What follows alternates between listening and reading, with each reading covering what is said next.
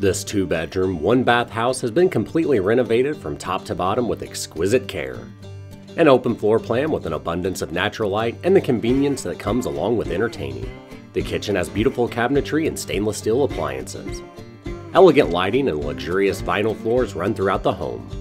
Pick up the phone and call Cheryl Bobo to schedule a tour today.